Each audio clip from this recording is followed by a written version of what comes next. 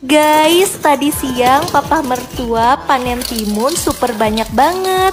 Hah? Timun? Terong kali.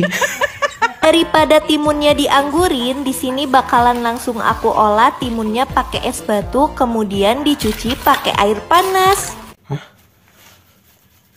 Katanya kalau misalnya timun dikasih arang kayak gini, ini tuh rasa pahitnya bakalan hilang gitu loh guys. Oh. Lanjut, di sini aku bakalan mixer ikan dongkol. Hmm? Ikan dongkol.